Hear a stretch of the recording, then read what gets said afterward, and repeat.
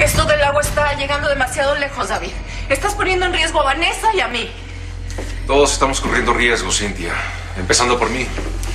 Así que lo siento, pero no voy a desistir. David, por favor, tú dijiste que cuando yo te lo pidiera, iba a llegar de nuevo el agua a mi hacienda. Y eso me va a servir para demostrarle a Rogelio que yo sola puedo arreglar este problema. No voy a pensar. Pero no te garantizo nada. Porque quedamos de fastidiar de verdad a tu hermano. Y tú lo que quieres es solucionar sus problemas en vez de darle más. Es que te lo juro que no es por él, es por mí. Si en verdad te preocuparas por ti, habrías aceptado casarte conmigo y pelear tu herencia. Bueno, ya habíamos acordado que eso no iba a suceder.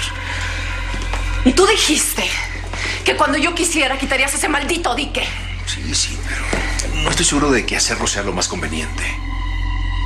Al menos no ahora. Maldito desgraciado. Sabía que nos ibas a traicionar en un momento. Poca hombre, desgraciado. Tú eres la que se está traicionando a sí misma. Y mejor, olvídate del imbécil de Gustavo. Cásate conmigo. Piensa bien lo que te conviene. No me voy a casar contigo. A ti te quería ver. Así, pues ya me encontraste. ¡Cuidado! ¡No! Tienes tres días para deshacer el dique y que el agua llegue a la hacienda de Cintia. Ya sé que vas a meter todos los recursos legales para quedar bien con ella y recuperar el agua, ¿verdad?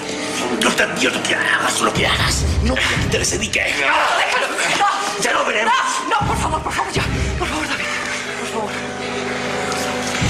Si quieres saber por qué lo puse, pregúntale a Cintia.